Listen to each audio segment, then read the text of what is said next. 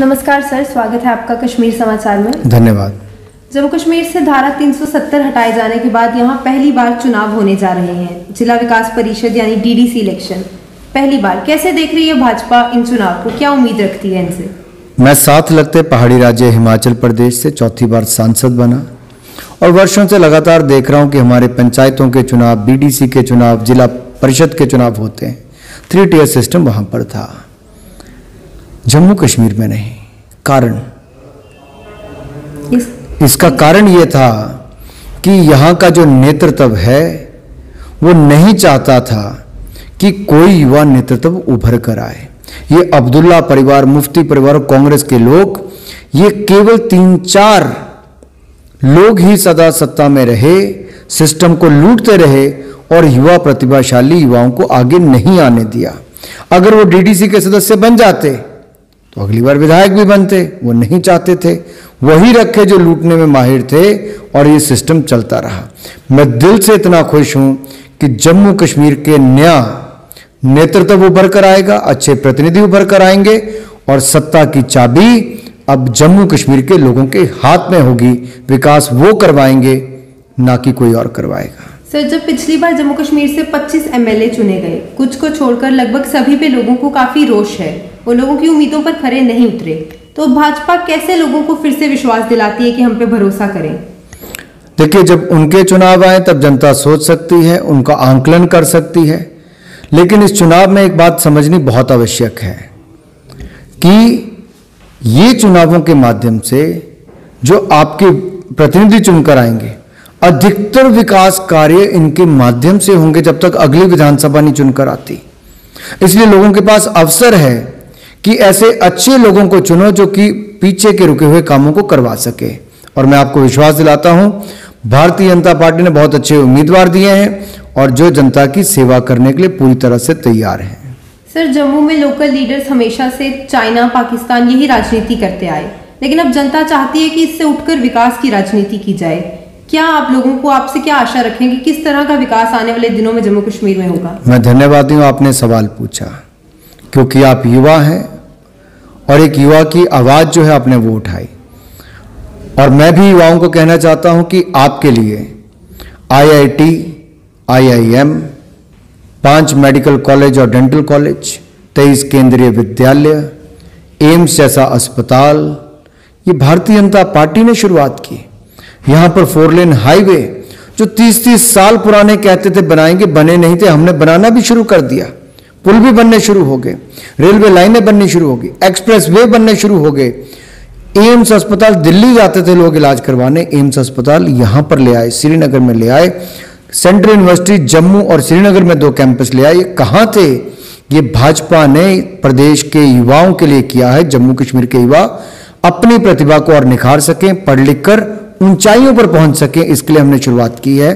और इन्हीं युवाओं के लिए अपने ही राज्य में सत्तर हज़ार नौकरियाँ सरकारी क्षेत्र में हम लोग देने वाले हैं।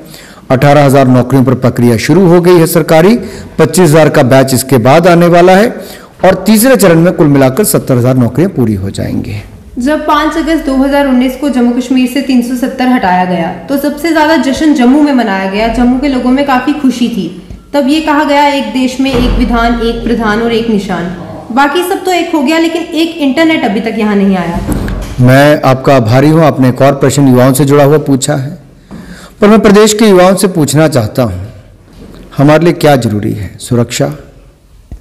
और यही कहना चाहता हूँ, सुरक्षा एजेंसियों ने, सरकार ने, सुप्रीम कोर्ट में भी जब ये विषय आया तो उनको कहा तो सुप्रीम कोर्ट ने कहा कि ये निर्णय टेक्निकल लोगों को और सिक्योरिटी एजेंसीज को तय करना चाहिए कि किस क्षेत्र में कब कितना कितना नेट खोलना है। जहाँ तक ऑप्टिकल फाइबर है वाईफाई है ये सुविधाएँ सब तरफ़ है। सर ऑनलाइन क्लासेस चल रही हैं अभी लॉकडाउन के समय में। कुछ बच्चे नहीं उनके पास वाईफाई नहीं है। तो अगर वो वाईफाई लगवा सकते हैं तो जिन्होंने सिक्योरिटी भंग करनी है वो भी वाईफाई का इस्तेमाल कर सकते हैं। मुझे लगता है ऑन द मूव नेट चलना और स्टेशन होने में बहुत अंतर है। और ये मेरे और आपसे ज़्यादा सिक्योरिटी एजेंसीज इसका उत्तर दे सकती हैं जिन्होंने सुप्रीम कोर्ट में भी बात कही। और वही इसके लिए उपयुक्त लोग हैं। हम नहीं चाहते बन टोल प्लाजा जैसी कोई और घटना घटे। हम नहीं चाहते था फिर भी बन टोल प्लाजा हम हम नहीं चाहते कि पुलवामा जैसी कोई घटना घटे। हम नहीं चाहते कुछ और हो। लेकिन साथ ही साथ हम ये भी चाहते हैं कि जहाँ डिजिटल इंडिया बनाने के लिए हमने पूरे देश भर की पंचायतों को ऑप्टिकल फाइबर से जोड़ने का काम शुरू किया है। डेढ़ लाख से ज़्यादा पंचायतों को हमने ऑप्टिकल फाइबर से जोड़ा है।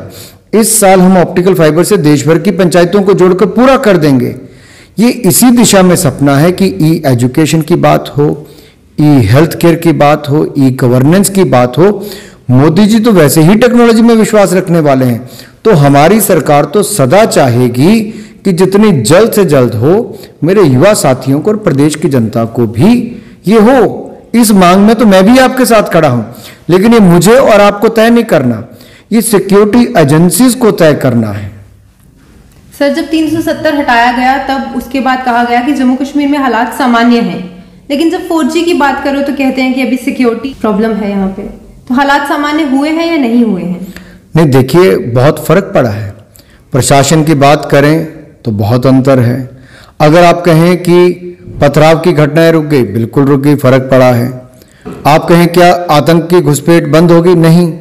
आतंक की घुसपैठ हुई, लेकिन 30 230 आतंकवादियों को पिछले एक साल में मार भी गिराया है। तो इसके दो पहलू हैं। ये प्रोसेस चालू है। लोगों की भागीदारी बढ़ रही है। पथराव की घटनाएँ घट रही हैं। आतंकवादियों को मारा जा रहा है। शांति को बहाल किया जा रहा है विकास को नई ऊंचाइयों पर लेकर जाया जा रहा है नए जम्मू कश्मीर का निर्माण किया जा रहा है। सर बेशक केंद्र में मोदी जी काफ़ी अच्छा काम कर रहे हैं लोग काफ़ी खुश हैं लेकिन जम्मू में लोकल लीडर्स कब तक सिर्फ़ मोदी जी के नाम पर ही वोट मांगते रहेंगे? देखिए जो पार्टी का नेता है सर्वमान्य है इतने लोकप्रिय है कि दुनिया उनको नेता मानती है। और महामारी के समय आपदा के समय भी वो मोदी जी जो 18 20 20 घंटे काम करते रहे। मैं तो उस समय आत्मनिर्भर पैकेज बनाने वालों में से था मोदी जी के नेतृत्व में। तो उसमें देखिए, आपदा में भी अवसर ढूँढने का काम किया। आपदा में भी आत्मनिर्भर भारत बनाने की सोच रखी। आपदा के समय जो हमने देखा कि हम एक भी पीपी किट हिंदुस्तान में नहीं बनाते, जो मास्क आपने पहना, ये भी यहाँ पर नहीं होता था। लेकिन अब हिंदुस्तान में पाँच लाख पीपी किट एक दिन में बनती है। दुनिया को हम निर्यात करते हैं एक्सपोर्ट करते हैं, दुनिया के दूसरे सबसे बड़े निर्माता बन गए हैं, करोड़ों मास्क दिन में बन रहे हैं। अलग अलग क्षेत्रों में लोग अपने पाँव पर खड़े हो रहे हैं। 80 करोड़ लोगों को आठ महीने तक मुफ़्त में अनाज देने का काम मोदी सरकार ने किया। साढ़े बीस करोड़ महिलाओं के खाते में हमने इकतीस हज़ार करोड़ रुपया डाला, उनकी मदद की। सात करोड़ बहनों को पहले रसोई गैस का सिलेंडर दिया तो बाद में तीन महीने आपदा के समय मुफ़्त में सिलेंडर भरवाने का काम किया। दस करोड़ पक्के मकान दिए तो दो, दस करोड़ शौचालय दिए तो दो करोड़ पक्के मकान दिए। ये सारी बातें अगर मैं गिनाने लगूँगा, और पीएम किसान में भी किसानों को छह हज़ार रुपया साल का उनके खाते में जमा कराया, मोदी जी ने कराया। हर वर्ग के लिए कुछ ना कुछ करने का प्रयास किया है। तो उसका इम्पैक्ट तो नीचे होगा। अगर आप मुझे कहें जम्मू कश्मीर के चुनाव में मैं मोदी सरकार की बात ना करूँ तो क्या आप ये कहना चाहती हैं कि मोदी जी ने जम्मू के लिए नहीं किया? तो क्या मैं ये ना कहूँ कि मोदी जी ने एम्स का जम्मू और श्रीनगर को दिया? क्या मैं ये ना कहूँ कि सेंट्रल यूनिवर्सिटी मोदी ने जम्मू और कश्मीर को दी? क्या मैं ना कहूँ कि आईआईटी आईएम मोदी जी ने जम्मू कश्मीर को दिया? जम्मू में अभी भी कुछ प्रोजेक्ट काफ़ी लंबे समय से रुके हुए हैं। आर्टिफिशियल लेक का प्रोजेक्ट अभी भी। जम्मू के लोकल लीडर्स से बात करने की कोशिश करो तो वो कहते हैं कि हमसे सिर्फ़ नेशनल और इंटरनेशनल मुद्दों पर बात करो। तो हम लोकल मुद्दों पर किससे बात करें? मैं आपकी हर बात का जवाब दे रहा हूँ। इसलिए मैं कहना चाहता हूँ, हो सकता है कुछ प्रोजेक्ट में विलंब हुआ हो। उसके कई कारण हो सकते हैं। लेकिन एक बात का विश्वास तो मैं अपने जम्मू कश्मीर के भाई बहनों को दिलाना चाहता हूँ कि आर्टिफिशियल लेक हो या कोई और ऐसा प्रोजेक्ट हो, जो जम्मू कश्मीर के हित में है उसको हम लोग करके देंगे।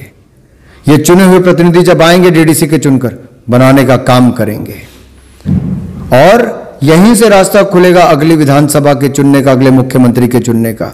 इन्हीं डीडीसी के सदस्यों से लोगों का और विश्वास, लोकतंत्र में विश्वास पैदा होगा, मज़बूत होगा। आप वित्त मंत्री हैं, राज्य वित्त मंत्री।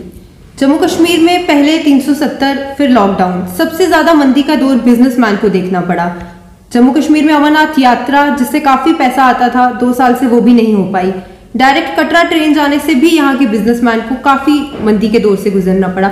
उनके लिए क्या करेंगे? जान है तो जहान है। जान बचानी ज़रूरी थी।